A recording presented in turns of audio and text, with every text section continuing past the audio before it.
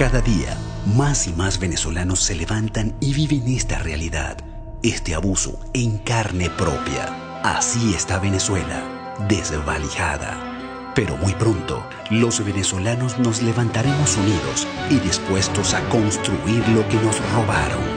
Este será el nacimiento de la Venezuela que todos queremos.